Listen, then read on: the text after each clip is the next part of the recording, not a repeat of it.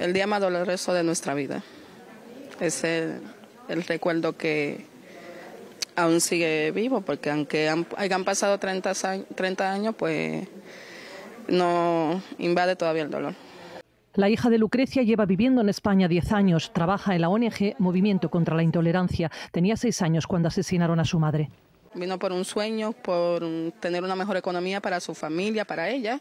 Buscaba un sueño y en esta habitación de una discoteca abandonada, Four Roses en Aravaca fue asesinada.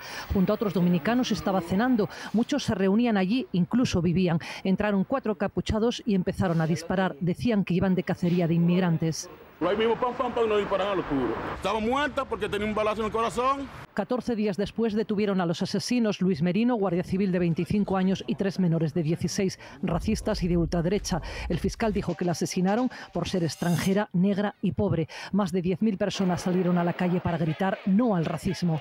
Hoy en Madrid se están celebrando actos como este en homenaje, recuerdo a Lucrecia Pérez. Nos dicen aquí que después de su muerte muchas actitudes y leyes cambiaron en nuestro país. Se aprobó en primer lugar un plan para la integración social en el año 94, el Observatorio de la Inmigración. La Fiscalía de Delitos de Odio, la reforma del Código Penal que fue gracias precisamente al dolor de tantas víctimas en 1995. Nos rechazaban totalmente, pero ahora han cambiado un poco las cosas, aunque todavía sigue existiendo el racismo. Hoy lucha para que la muerte de su madre no haya sido en vano, para que el racismo sea un mal recuerdo.